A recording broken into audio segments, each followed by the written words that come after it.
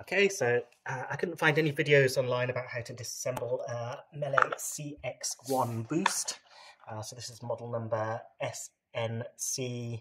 Uh, I imagine it's the same for all of these. So the way to get into one of these things, uh, you have to first uh, pop off the plastic covers here. Uh, you can see there's lots of little little clips all the way along here.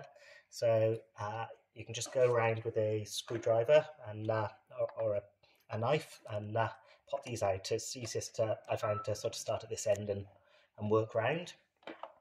Do that on both sides, so pop these side, side panels off, uh, same on the other side. Uh, you also have to pop the wheels off. So uh, the wheels, uh, you can see they're really just clipped on around this bit here and this up here. So uh, the way to pop those off is just get a knife in in there and uh, you sort of pop it off here and here uh, and that's that's enough to make the wheel lift and, and just lift off.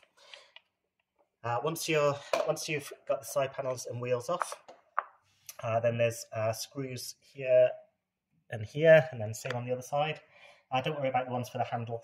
I, I, I, did take the handle off. Maybe they go all the way through. Um, but let's just remove the handle.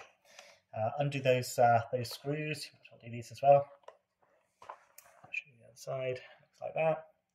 Uh, and then in order to lift uh, this whole section, this whole top section comes off, in order to lift it, there's a clip here under the wheels. So it's necessary, once you've taken the screws out, push that clip in with a knife, lever it up, uh, and then uh, same on the other side as well, and the whole the whole top will come come off, and uh, uh, then you can get to the electronics inside. So there you go.